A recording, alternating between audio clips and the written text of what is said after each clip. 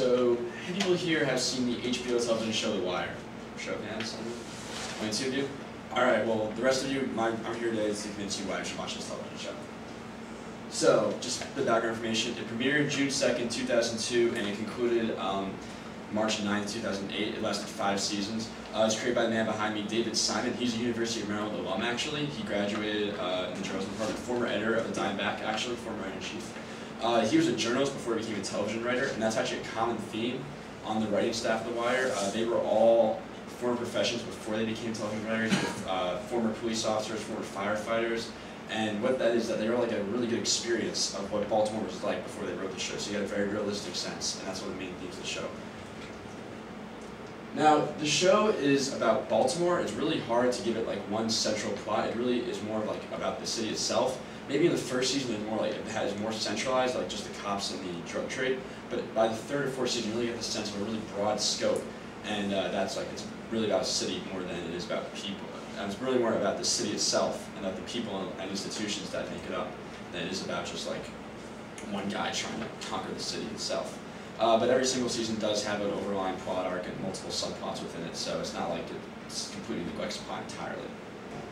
Uh, now there are some uh, main themes throughout the show. Uh, every single season focuses on one central theme. For example, season one was about the drug trade. Season two, the ports. Season three, the uh, the city hall. Season four, journal um, education system. Season five was about the uh, the uh, journalist and newspaper industry. But there also are some show themes that last the entire show series run. For example, it's a very, very realistic show. It was shot entirely in Baltimore. Um, a lot of the writers and actors have ties with the city, so they know the city itself. Uh, it also deals with the American dream, and is the American dream still alive? For example, you have like characters that are in low-cost neighborhoods that aren't really able to get out. Uh, in fact, season three, one of the main plot lines is a high-level drug dealer trying to escape the drug life, trying to legitimize, legitimize himself, but he's ultimately unable to do so, and it's unfortunate. Uh, and there also is the theme of uh, people versus institutions. I have a quote from David Simon, an interview with Vice Magazine about that. Uh, he said, one of the things we were saying was that reform was becoming more and more problematic as money and interest, capitalism, which is the sort of ultimate Olympian god, uh, become more and more entrenched in the postmodern world. What he's trying to say is that as institutions became larger and more money invested, it became much, much harder for a person to really take on the institution and kind of struggle. For example, in season one and throughout the series, you have McNulty, a cop who really just wants to get the job done, but then you have his uh, superiors, the police officers in the higher division, who really are just like, we don't really want to get a lot of work done. All we're concerned about is keeping the numbers low, and if it leads to crime being rampant, then that's the way it's going to be. Uh, now, The Wire is well known for its lack of success. Uh, very low television ratings throughout the series run. For example, um, season four, one of the more critically acclaimed television seasons of all time, only averaged 4.4 million viewers uh, per episode. Uh, the season five premiere um, only had 3.4 million viewers total. Compare that to a show like The Office, which gets 9.2 million viewers on average. So just like give that comparison right there. In fact, season five only happened because season four was so well reviewed. They pretty much said, you can't cancel the show, we have to get another season. And they said, okay, we'll do this last season, but then that's it.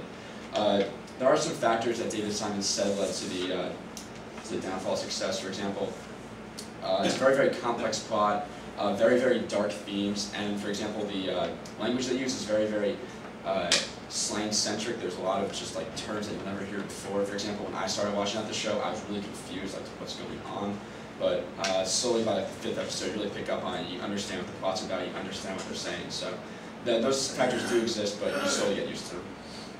Uh, now, it has received numerous critical praise. Pretty much almost every media outlet has said something about like how great The Wire is. Um, in a lot of television, like best of the decade lists, I believe six media outlets named it their uh, top show of the decade. The AV Club, HitFix.com, San Diego Union Tribune, San Francisco Chronicle, uh, Salon Magazine, and Time Magazine all called it the best show of the decade. In fact, Daniel Fienberg of HitFix called it the uh, best cultural endeavor of the decade.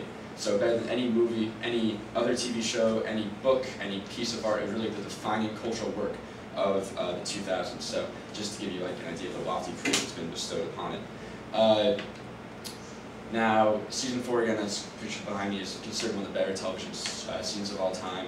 It's won uh, only one award, a Writers Guild of America award, but it's been nominated for many other awards. Uh, it was nominated for two Emmys for Outstanding Writing. It was nominated for multiple NAACP awards uh, because of its portrayal of blacks.